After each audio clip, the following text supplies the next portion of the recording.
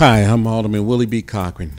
When it comes to housing in my ward, I believe in action. I've created and supported 500 new units of housing in the ward, from the back of the yards, Washington Park, to Woodlawn.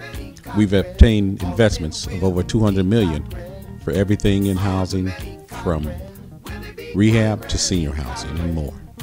Homeowners in my ward, to help them continue to support their Homes have received over $5.5 million in grants, but my work isn't finished.